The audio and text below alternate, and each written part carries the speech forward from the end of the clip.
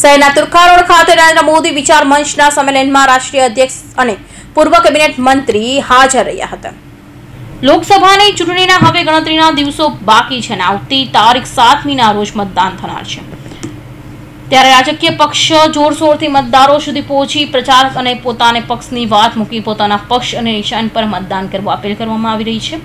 ત્યારે રાજકીય પક્ષ દ્વારા રેલી અથવા સભા દ્વારા જોરો શોરથી પ્રચાર થઈ રહ્યો છે ત્યારે તુરખા રોડ ખાતે નરેન્દ્ર મોદી વિચાર મંચ દ્વારા જાહેર સભાનું આયોજન કરવામાં આવ્યું इतना कहते हैं कि अब की बार चार सौ पार तो अपने पूरे देश के अंदर में सात सौ सत्तानवे जिले और पाँच सौ तैंतालीस जो हमारी सीटें हैं जिन पर अपना काम चल रहा है और गुजरात के अंदर में ऐसी कोई मेहनत भी नहीं है क्योंकि हम लोगों के पास दक्षिण भारत और उत्तर भारत है लेकिन गुजरात में तो बहुत अच्छा है वन साइडेड और यहाँ पर हमारे सौरभ भाई और सारे लोग जो लगे हुए हैं अपने को लगता है कि नरेंद्र मोदी विचारमंच की पूरी टीम और भारतीय जनता पार्टी और जो हमारे निर्दलीय ऐसे लोग हैं जिनको किसी राजनीतिक संबंध नहीं चार से करेंगे बिल्कुल जब गुजरात की आपने बात की जब वक्तव्य में भी बोला कभी क्षत्रियों का जो विषय चल रहा है उसके लिए आप क्या कहेंगे? देखिए मतभेद कोई भी नहीं है और स्वाभाविक है कि हर व्यक्ति को अपनी राजनीतिक भूमि तलाशनी पड़ती है। छत्री का डीएनए ही भारत माता और नदी माता गौ माता और अपनी माता के साथ रहा है। वो तो कभी भी जीवन में भारत के विरुद्ध नहीं जाने वाला है। और छत्री हमेशा इस समय नरेंद्र भाई के साथ है। तो सात तारीख को वोटिंग गुजरात में हंड्रेड परसेंट। सब पूरे पूरे देश के अंदर। यहाँ के जो आयोजक हैं वो भी छत्री है।